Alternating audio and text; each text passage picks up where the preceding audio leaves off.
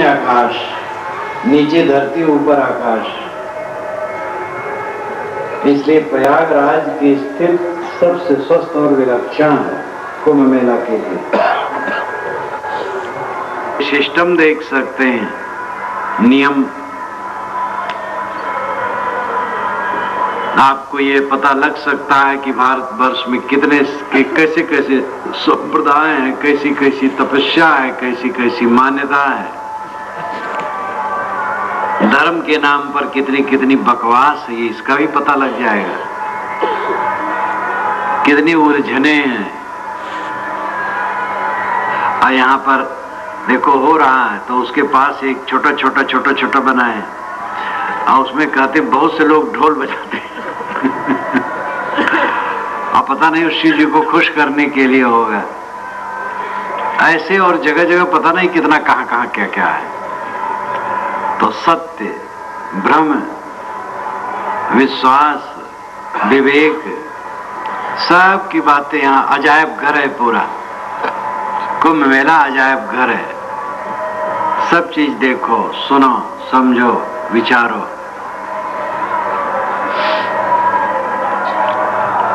अपना काम करना है, कल्याण का काम। ये खास बात है। हम लोग तमाशा देखने नहीं आए हैं। आत्म कल्याण के लिए, बल लेने के लिए आए हैं।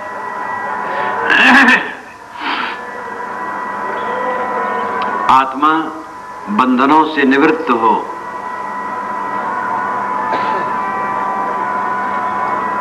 ऐसा काम हमें करना चाहिए।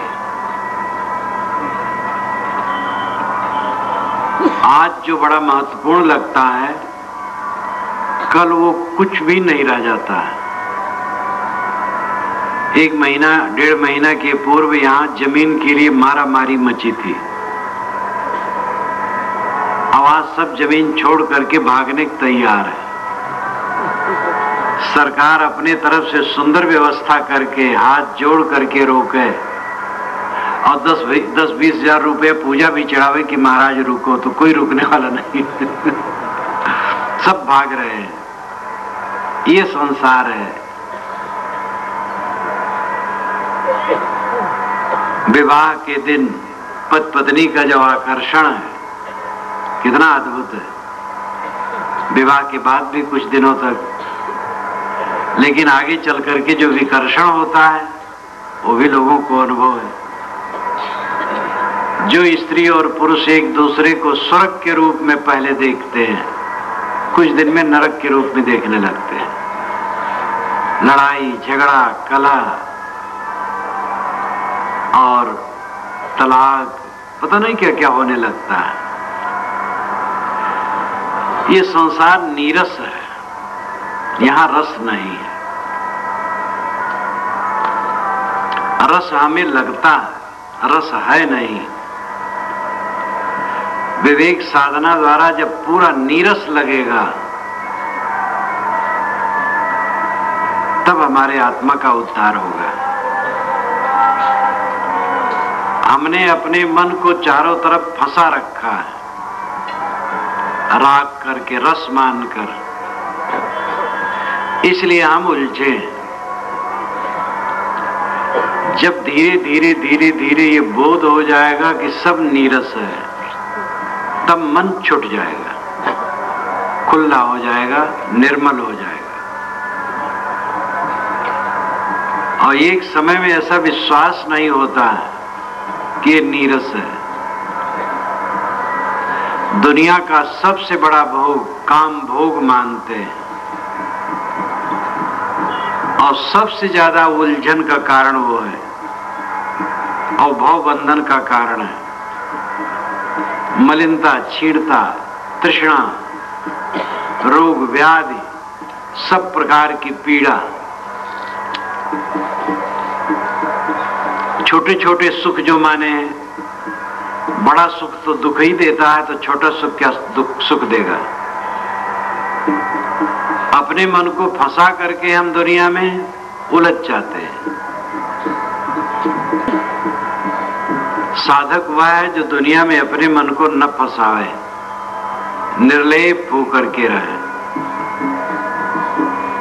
सावधानी से रहे। ये सराय खाना है। हम कहते और सुनते हैं। अनुभव में आना चाहिए।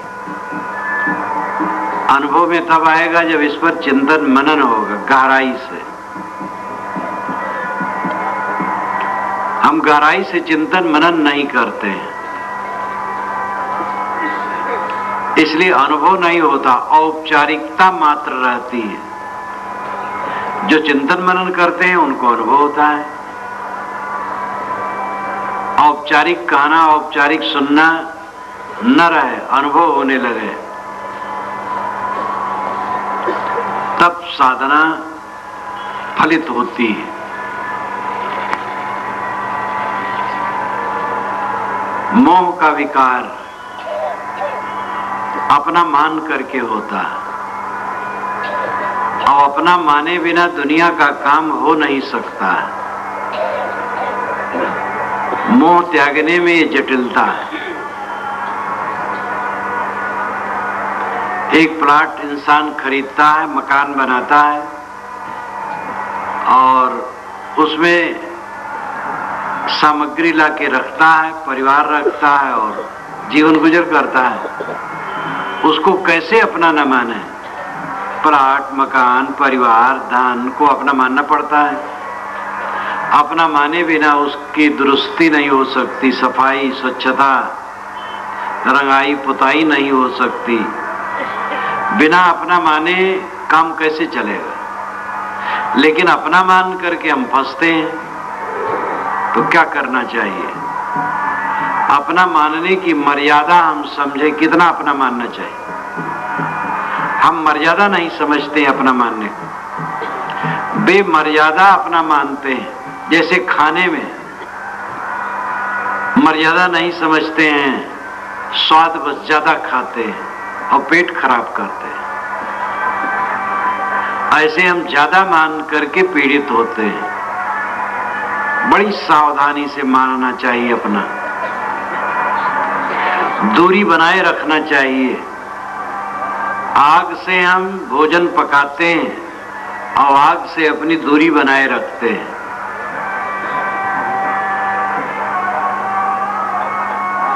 कुएँ में, कुएँ से पानी भरते हैं और कुएँ से अपनी दूरी बनाए रखते हैं। गिर न पड़े, सावधान रहते हैं। भोजन करने बैठे भोजन करें, लेकिन उससे अपनी दूरी भी बनाए रखें, ज़्यादा न कर लें। अपना व्यवहार के लिए माने, लेकिन दूरी बनाए रखें।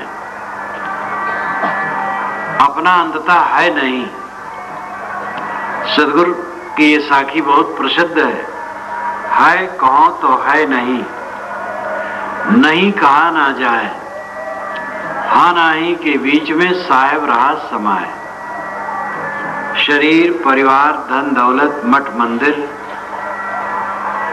जहाँ तक इंद्री, गोचर, मन गोचर दृश्य है, उनको कैसे कहूँ कि मेरा है? मेरे बाबे दादे ये कहते थे, और उनका कुछ नहीं रहा। तो कैसे कहूँ कि मेरा है? साहब कहते हैं, नहीं कहा ना जाए, नहीं कहते भी नहीं बनेगा। किसी से कोई पूछे, तुम्हारा घर कहाँ है? वो कहे, हमारा घर हर घर है। और किसी घर में घुस जाए तो पीटा जाएगा। इसलिए अपना घर मानना पड़ेगा। अपना घर, अपनी पत्नी, अपने बच्चे, अपनी संपत्ति।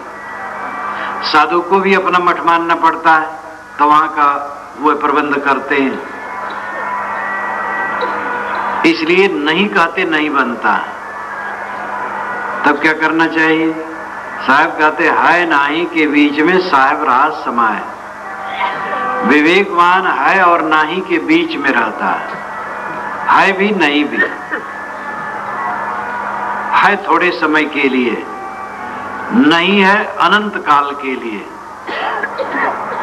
मेरा शरीर है, कब तक के लिए? थोड़े समय के लिए।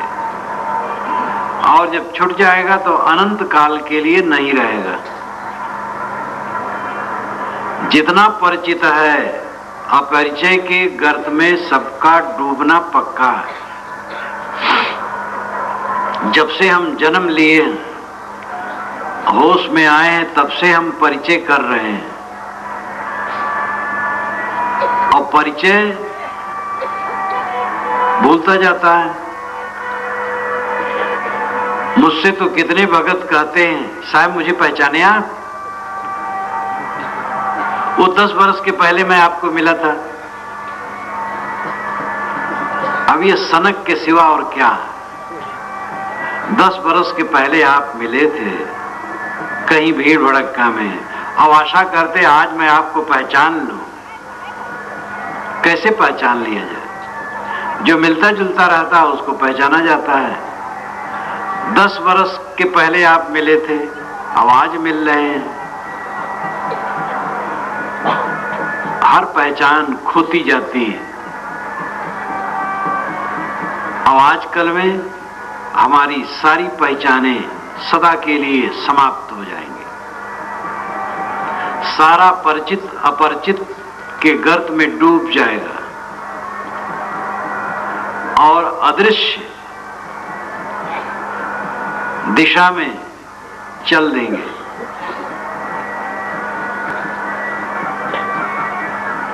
इस बात की याद करने की आवश्यकता है। अचानक ये होगा, बिल्कुल झटपट। हुच की एक हुचकी आई, काली बदरिया मुख पर छाई। गर्व तो रहता है कि अभी तो है ही सबको अहंकार है, अभी तो है ही। नब्बे वर्ष का बूढ़ा भी सोचता अभी तो है ही है। इसीलिए कितने गुरु और महंत अपने आश्रम को संस्था रूप नहीं देते हैं। सोचते अभी तो मैं हूँ ही। अचानक मर जाते हैं, बच्चे ले लड़ते हैं। ये महाभ्रम है। सब मरे तो मरे, हम मरेंगे थोड़े। एक आदमी तो कहता था मैं मर, मरने कल्पना नहीं करता हूँ क्यों मरूँगा? मरने लगूँगा उठ करके बैठ जाऊँगा। तो उसको लकवा हो गया जवानी ही में और बिस्तर पर पड़ गया। और फिर ऐसा स्वस्थ हुआ कि वही लागे वो एक साल में मर गया। तो लोग कहें कि अब कैसे उससे पूछा जाए तुम कैसे मर गए? पूछने का साधन भी नहीं रह गया। तो मिथ्या अहंकार। कि सब मरे तो मरे, हम नहीं मरेंगे। अन्य भूतानि गच्छन्ति यमालयम शेषा स्थावर मिच्छन्द किमाश्चर्यमता परम रोज रोज प्राणी यम लोग को जाते हैं। लेकिन जो बचे हैं, वो यही चाहते हैं कि हम यहीं रहें। इससे बड़ा आश्चर्य क्या होगा?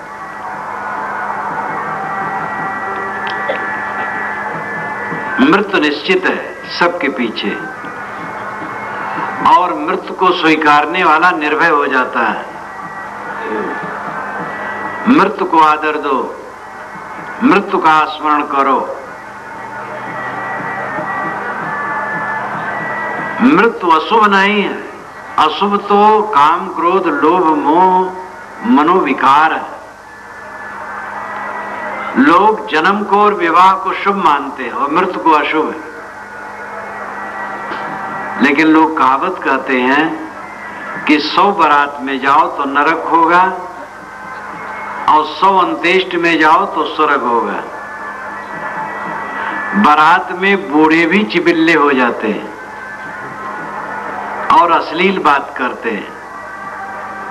और किसी के अंत्येष्ट संस्कार में जवान भी गंभीर हो जाते हैं। और कहते भैया, कुछ रखा नहीं संसार में, धोखा है। जिसमें हमारी आँखें खुलती हैं, उसको हम अशुभ मानते हैं। मृत्यु, किसी की मृत्यु होती है तो थोड़े समय के लिए मन में वैराग्य आ जाता है, सामान्य व्यक्ति के मन में भी। विवाह, शादी, बरात रात में तो और राग रंग बढ़ता है। तो विवाह शुभ है कि मृत्यु शुभ है? जिससे मन का बंधन छुटे वो शुभ है। लेकिन लोग कहते जन्म शुभ है, विवाह शुभ है मृत्यु शुभ नहीं है। जबकि मृत्यु जीवन के अंतिम रिज़ल्ट का दिन है। साल भर की पढ़ाई के बाद, परीक्षा देने के बाद परीक्षा फल का दिन। छात्र, बड़ी बेताबी से उसके लिए प्रतीक्षा करता है कि कब परीक्षा फल आएगा। मृत्यु का दिन परीक्षा फल का दिन है। उस दिन पूरा रिज़ल्ट सामने आने वाला है, बैलेंस शीट सब सामने आने वाला है। इसलिए उसकी तैयारी पहले से करना चाहिए। धोखे में रहने से काम नहीं बनेगा।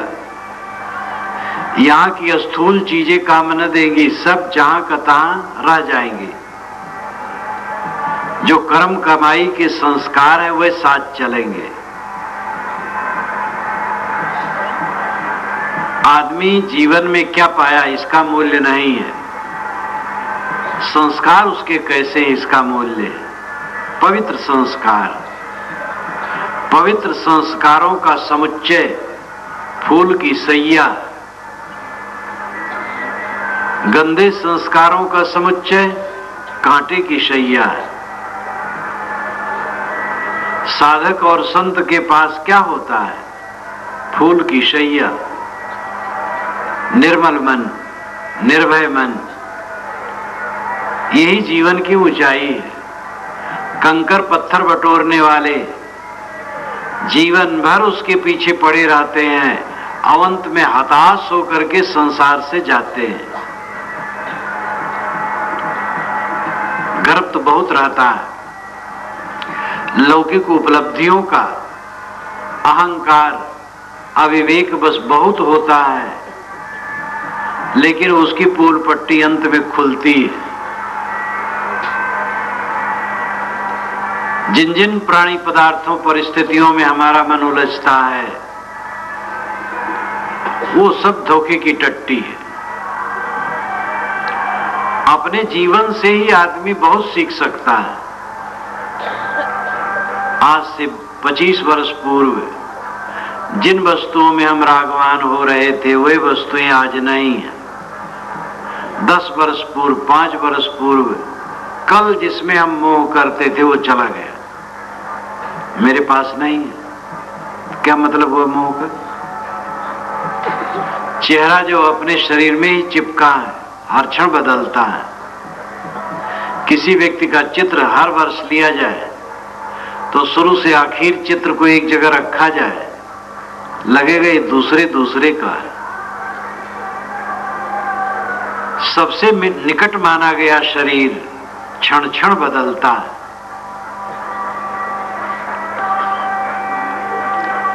जिनमें हम रागवान होते हैं, वो स्थिर नहीं है। इसलिए सदगुरु कहते हैं कि है और नहीं, कैसे कहें? है भी नहीं भी। जब तक व्यवहार है, तब तक है। लेकिन व्यवहार कब तक है? देह के साथ सारा व्यवहार गायब, फिर नहीं हो जाता है। जो चीज़ आज कल में नहीं हो जाने वाली है उसमें अपने मन को बांधना घोर अविवेक है। शरीर में हम बैठे हैं, इसलिए संसार का भास होता है। संसार शरीर अभी फुट जाए, संसार का भास मिट जाएगा। संसार का हमें पता नहीं लगेगा कहाँ गया।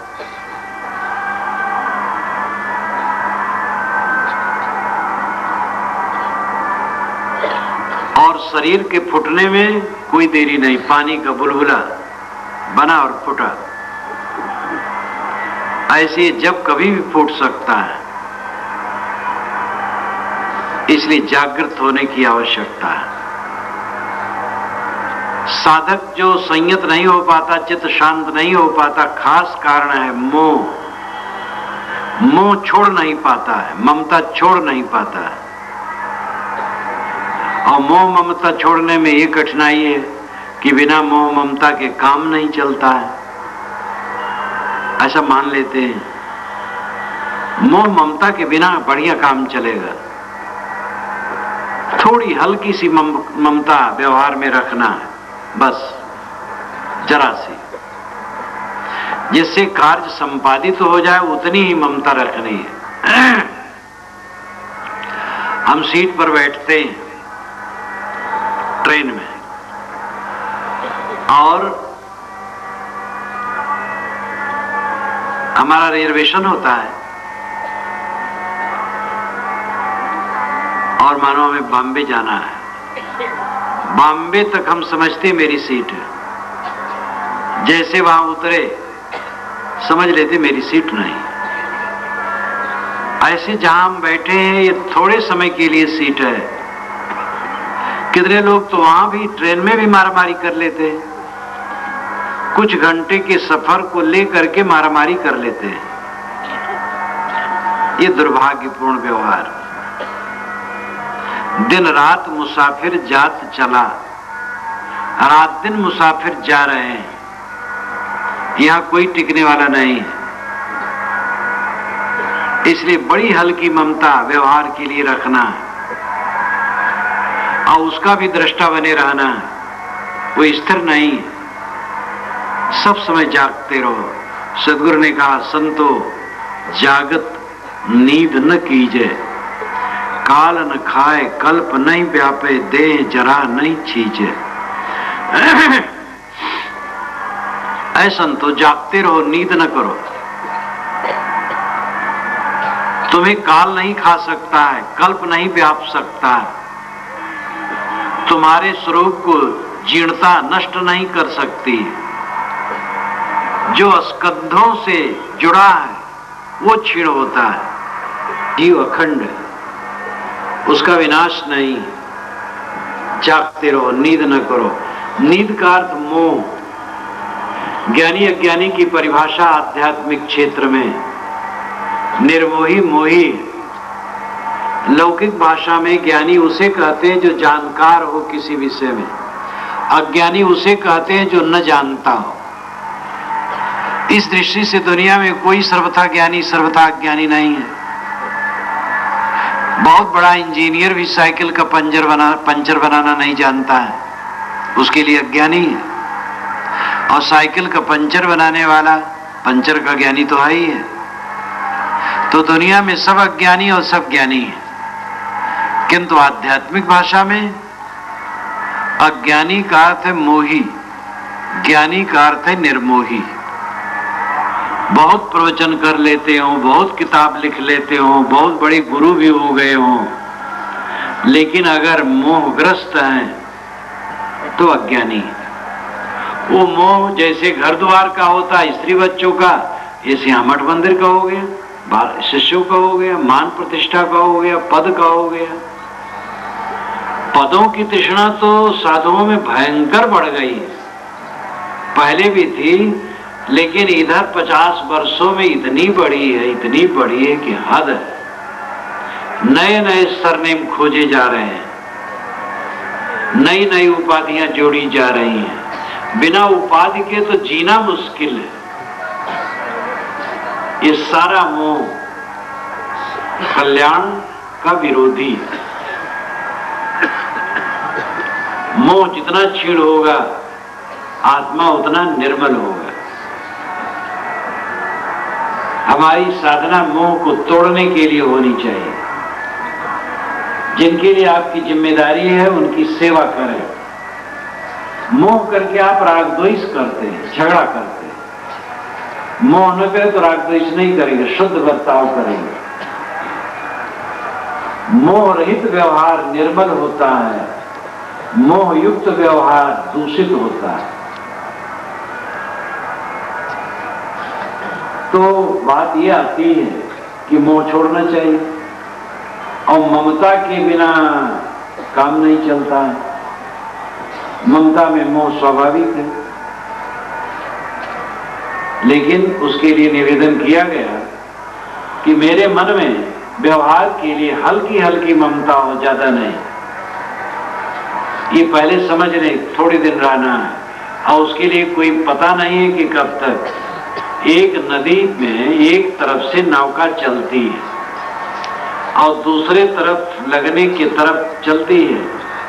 हम देखते हैं कि इस तरफ़ से इतनी दूरी चली गई और कि इतना दिन हो गया जन्म लिए इस शरीर के। लेकिन मृत्यु कब होगी ये पता नहीं। परंतु इतना पक्का है कि मृत्यु निश्चित है। और बस ऐसे आते आते आ जाएगी। लेकिन साधना न होने से उदाहरणा नहीं बनती है। संसार की नस्रता मृत्यु के मुख में शरीर का जाना, सारे परिचितों का विस्मृत हो जाना, यहाँ माना हुआ सब कुछ का विलय हो जाना, ये सारी बातें बिल्कुल यथार्थ है। लेकिन ऐसी दृष्टि क्यों नहीं बनती? क्योंकि साधना नहीं की जाती है। अकेले में बैठो, ग्रंथ पढ़ो, ज्ञान, वैराग, भक्ति के। चिंतन करो, ध्यान करो, तब मन बनेगा। कभी सुन लिए रोज मनन चिंतन नहीं। साधन संपन्न संतों के पास कभी भी जाके दो चार दिन नहीं निवास किए। साधना के विषय में युक्त प्रयुक्त नहीं सीखी। रोज साधना में नहीं बैठते हैं। उधर चिंतन मनन नहीं करते हैं। तो दशा कैसे आएगी? बारंबार सोचने से वो दशा आती है। इसलिए सबको चाहिए गृहस्थ को, विरक्त को, स्त्री को, पुरुष को समय निकाल करके रोज अकेले में बैठा कर। एक घंटा, दो घंटा, जितना संभव।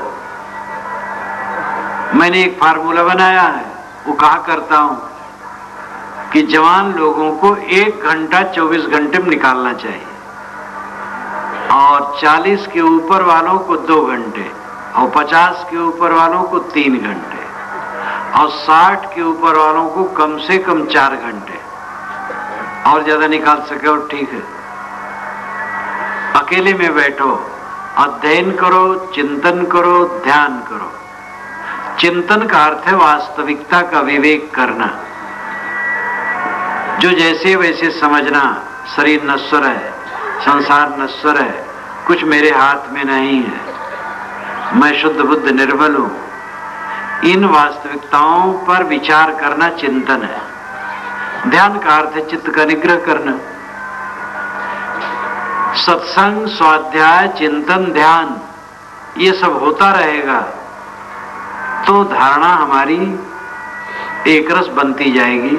इसके मूल में सेवा है वो तो कभी नहीं बोलना चाहिए। सेवा जड़ है।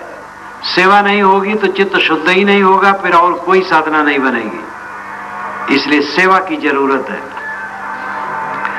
सेवा तन से वन से, वचन से, धन से, हर प्रकार की सेवा होती है। इसलिए सेवा सबको सेवा करना चाहिए। साधु ग्रस्त सबको सेवक होना चाहिए। विवेकवान गुरु भी अपने को सेवक मानता है समाज का। स्वामी नहीं मानता। सेवा के बिना किसी का चित्त शुद्ध नहीं होगा। इसलिए शरीर से आलसी न रहो, घर में रहो, परिश्रमी रहो, संतों के पास जाओ, वहाँ भी सेवा करो। और फिर धन दौलत से भी सेवा करो। दूसरे की सेवा के तीन स्थान है। पवित्र आत्मा और असमर्थ लोग। और लोक मंगलकारी कार्य पवित्र आत्मा को हम जो कुछ देते हैं, उनकी सेवा करते हैं, उनसे हमें बहुत मिलता है। बोध ज्ञान, हम जो देते हैं, भौतिक वस्तु देते हैं। पवित्र आत्माओं की सेवा, दूसरा असमर्थों की सेवा, जो असहाय है, जो बन सके सेवा। और सार्वजनिक लोक मंगल का काम। हॉस्पिटल बन रहा है, स्कूल बन रहा है, पुलिया बन रही है, गाँव से निकासी का पानी भर जाता है और मनुष्य पशु जाते हैं, वर्षा में बड़ी परेशानी होती है। सब मिलकर के बना दिए। पुलिया बन रहा है, सबका हित है। संत आश्रम बन रहा है। लोक मंगल मंगलकारी संस्थान बन रहे हैं। तो ऐसे सार्वजनिक लोक मंगलकारी कार्यों में धन देना। तीन जगह सेवा की जगह है। दिया हुआ लौटता है। ये प्रकृति का विधान है। कवि साहब ने कहा, ऋतु बसंत जाचक भया, हर्ष दिया द्रुमपात। ताते नौ पल्लो भया, दिया दूर नहीं जात। वसंत ऋतु ने जाचना की, वनराज से कि वनराज आप अपने पत्ते मुझे दे दीजिए। तो हर्षित होकर के वनराज ने सारे पत्ते पीले करके झाड़ दिए। ताते नौ पल्लो भया इसलिए नए नए पल्लो पे, पेड़ों में आ गए। दिया दूर नहीं जात। जो दिया जाता वो दूर नहीं जाता और स्वस्थ होकर के लौटता है। इसीलिए ऋषि ने कहा तैतरी उपनिषद के ऋषि ने श्रद्धया देयम अश्रद्धया देयम श्रिया देयम हृया देयम भिया देयम संविदा देयम श्रद्धा से दान करो, अश्रद्धा से दान करो, भय से दान करो, लज्जा से दान करो। और अगर कह दिए हो तो दान करो। बड़ा बढ़िया मंत्र। मैंने पहली बार जब इसको पढ़ा था तो अवाक रह गया था और देर तक सोचता रहा कि कहने कितना सुंदर तरीका है। श्रद्धा देम श्रद्धा से दान करो। किसी ने कहा, मुझे श्रद्धा नहीं है। तो ऋषि ने कहा अश्रद्धा देम अश्रद्धा से दो। कोई बात नहीं, अश्रद्धा से दोगे धीरे धीरे श्रद्धा हो जाएगी। हृदय लज्जा से दो। लोग दान धर्म करते, तुम कंजूस बने बैठे हो, लोग क्या कहेंगे? लज्जा तो करो। हिरी नाम लज्जा हृदयम लज्जा से दो। श्रियादेयम श्री नाम धन। धन की मर्यादा से दो।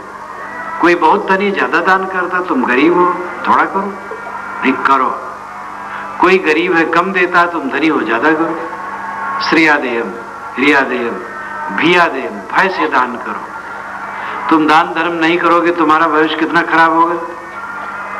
और संविदा देयम। संविदा का अर्थ है इकरार करना। अगर देने कहे हो तो ज़रूर दो। मुकर न जाओ। ये अच्छा ढंग कितना बढ़िया है, कितना आकर्षक है। श्रद्धयादेयम अश्रद्धयादेयम श्रियादेयम भियादेयम हिरियादेयम संविदादेयम तो सेवा तो मूल है। सेवा से चित्त शुद्ध होगा। और चित्त शुद्ध होने पर संतों की वाणी असर करेगी। अध्ययन मनन बढ़ेगा, चिंतन बढ़ेगा, ध्यान बढ़ेगा। तो ज्ञान एकरस होगा। जो सबके हो ज्ञान एकरस ईश्वर जीव ही भेद काउ कस, गोस्वामी जी ने कहा। एक रस ज्ञान हो जाए, ईश्वर जीव में क्या भेद है? एक रस ज्ञान हो गया, बस, ये जीव ईश्वर है। तो मैंने शुरू किया था, जीवन का कल्याण हमारे जीवन का परम उद्देश्य है, आत्मा का कल्याण। आत्मा का कल्याण है, मोह का छूट जाना जितनी मात्रा में मोह छूटेगा, चित्त विश्राम पाएगा, शांति पाएगा। मन इसीलिए भटकता है क्योंकि मोह ग्रस्त है। और हम लोग बड़ा अच्छा मान बैठे हैं मोह को। बड़ा प्यारा लगता है, छोड़ने में नहीं आता है। लेकिन छोड़ना तो पड़ेगा। एक कहानी कहूँगा और समाप्त करूँगा। कहानी तो आप लोग जानते, याद कराना है। दो आदमियों ने एक सेठ से सौ सौ रुपये उधार लिए और कहा कि महीने में दे देंगे एक महीने में। एक ने दे दिया, दूसरा नहीं दिया। वो जब ज़्यादा चालाक था और ज़्यादा चालाक ही बेवकूफ़ हुआ करता है। छह महीने हो गए, नहीं दिया। सेठ पकड़ पाया। खंभे में बदवा दिया। कहा, आप लाओ, दो तब छोड़ेंगे। वो कहा सेठ जी रुपए नहीं है। तो कहा अच्छा सौ प्याज खा लो तो हम रुपए छोड़ दें।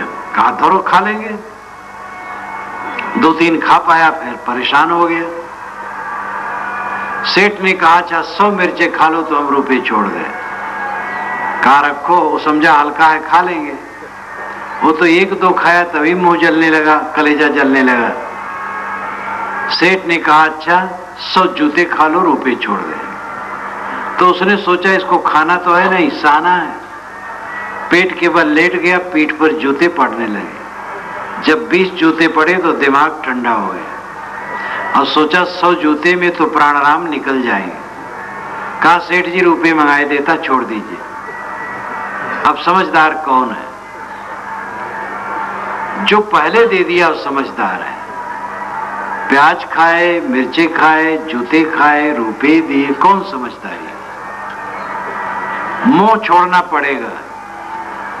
अब प्याज मिर्ची जूते खा के छोड़ना चाहते हो कि पहले? स्वयं सोच लो।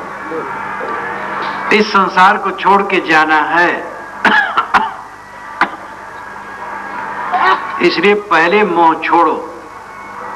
मोह छोड़ करके परिवार और समाज की सेवा करो। आएँगे, नहीं कह पाता हूँ। आप फिर कब लौटेंगे? अमुक तारीख को लौटने की बात है। लौटूँगा कैसे को? कहीं फुट करके बाहर आ जाए, गिर जाए बस। क्या लेना देना ये मिट्टी का लौदा। ढनगना रहा हूँ। ढनगनाना ठेलना। जैसे गेट ठेला जाता है, इस मिट्टी के लौदे को ढनगना रहा हूँ। कहीं गिर करके टूट जाए, बस टूट जाए। आना जाना कहाँ है? व्यवहार में आना जाना पड़ता है। तो आऊँगा कि कैसे को आने की बात है। जा रुक जा रुक जाए। अपने मन को इतना अनासक्त रखने की आवश्यकता है। अभी सांस टूटने का अवसर आ जाए, कोई फ़र्क न पड़े। पूजा करने वाले हैं लोग। और सांस टूट जाए और मैं जानता हूँ मेरी पूजा करने वाले हैं। और भी सांस टूट जाए तो पूजा की वासना रह जाएँगे। कि लोग हमारी पूजा करने वाले थे, क्या कहें? आरती नहीं उतारे, मैं मर गया। अरे, आरती करने वालों को मन है, तब आरती कर लेंगे। जिनको गाली देने मन होगा, गाली दे लेंगे। वो उनका मन है, उनको आन लाभ है। मैं किसी महापुरुष की आरती करूँ तो मेरा लाभ है। मेरी आरती हो तो मेरा लाभ कुछ नहीं। सब समय अपने मन को धोए रखना चाहिए। और ये बात सबको रखना चाहिए। अगर साधु शरीर छोड़ने वाले हैं और ग्रस्त सदैव रहने वाले हैं तो ग्रस्त लोग मोह न छोड़े। लेकिन ग्रस्त को भी जाना है। साधु ग्रस्त दोनों के लिए नियम एक है। इसलिए दोनों को मोह छोड़ करके जीना चाहिए और जहाँ जो है अपने अपने कर्तव्य का पालन करना चाहिए और इसी जीवन में कृतार्थ होने का प्रयास करना चाहिए।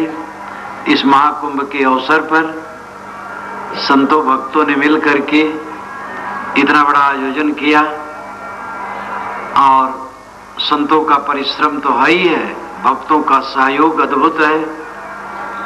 धन से, तन से, मन से तब इतना बड़ा काम हो सका।